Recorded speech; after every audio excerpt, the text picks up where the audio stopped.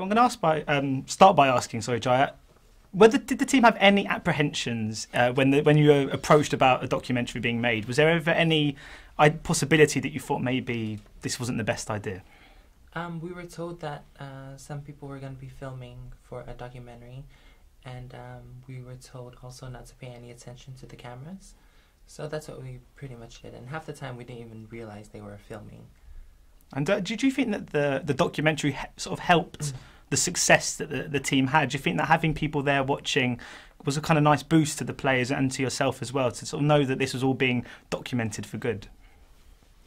Um, uh, to be honest, when they first started uh, filming, I thought um, they were here to make a mockery of the team. Um, uh, when you look at the history, 31-0 loss against Australia, and I thought that was um, mainly what the film was about, and um, turned out to be a really good film. And uh, uh, Thomas, why did you why did you take this job? What was it that enticed you into into this? Well, I think I think at any stage of, of a coach's career, but especially in the latter stages of your career, you look at new challenges, new opportunities. Um, as a Dutchman, I was born and raised in, in the Netherlands. Uh, we love to travel. We speak our languages. We embrace new culture. So when I looked at this tiny island, American Samoa, and, and a region I've never been to, uh, from a personal standpoint, I was attracted to uh, to that. From a professional standpoint, being able to manage a, a team through World Cup qualifying is, is something special as well. So.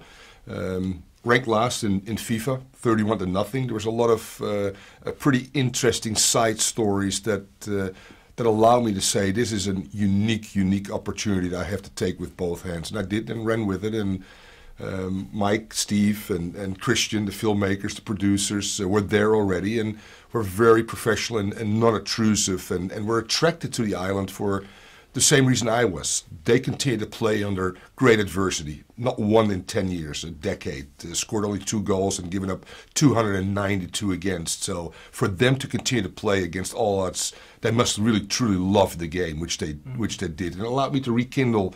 Uh, the game the way I played it when I was young, the passion, and, and, and as a bunch of amateurs to to go there and, and continue to, as I said again, play under a great set of adversity was just very refreshing, pure, and, and very holistic.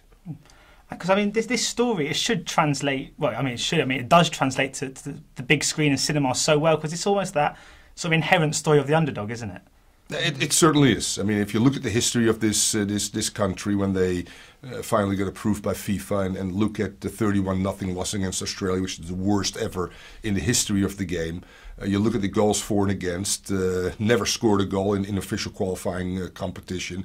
It, it, truly is a great story of the underdog. But there's a lot more to it, as Jaiyah illustrates here. She's a Fa'afafine, uh, which is very much uh, the norm, the culture in, in, in Oceania and in, in that region.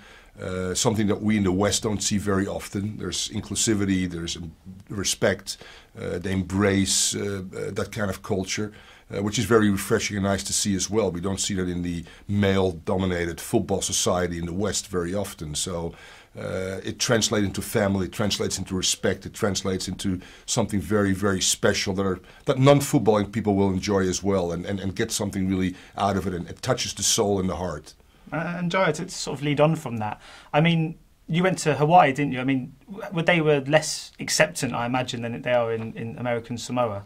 Um, yeah, it's sad because Hawaii has such a similar culture to um, Samoa, but uh, there's been so much influence in in Hawaii, being uh, the a state of the United States of America, and um, the stereotypes have played into the culture, um, being it prostitution or drug use and abuse, and um, anyone who's trans is sort of um, seen as connected with those two things. And um, being an athlete, uh, I, I tried out for the University of Hawaii soccer team, and um, halfway through the warm up, I was asked to go home because the coach didn't want to put his team in an uncomfortable position without even letting me showcase what I was uh, capable of.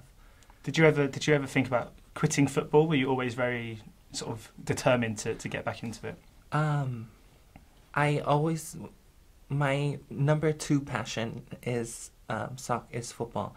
Um, my first passion would be the performing arts, dance concentration, which was my major.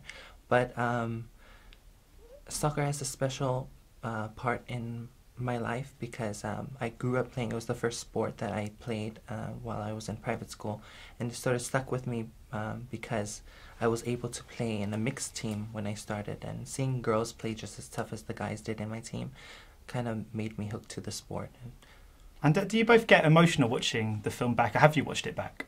Uh, We've seen it now for the third time. We were invited yesterday by the FA. We were at Wembley. Um, Graeme Le Saux was there and very gracious in hosting us. He went through his own trials and tribulation when he played, obviously. So it, it played well into the message that the FA is sending in, in, in general. And, and and yes, every time I see the movie now, it was the third time, as I, as I said, uh, there's something that catches my eye. There's something that, that makes me emotional. Something that makes me uh, choke a little bit. Um, uh, as I said again, it's it's just a wonderful, wonderful movie about uh, the underdog, but about life in general, about acceptance, about respect, about all the things that that, that should be important in life and are being uh, overlooked and very uncommon, as I said again, in, in, in normal society and especially in the footballing world. Thank you so much for your time today. Much appreciated. You're welcome. Thank you. Thank you.